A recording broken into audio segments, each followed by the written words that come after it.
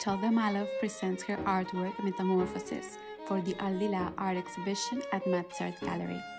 Digitally created, enabling the creation of her own Aldila a positive adaptation where adversity is a strength point for resilience to undertake the important task of representing the artist's experience to reflect a space in life.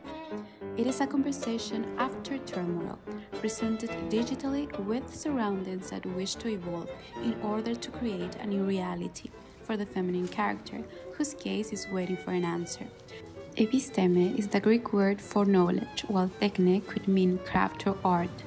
Plato states techne as enlightened knowledge.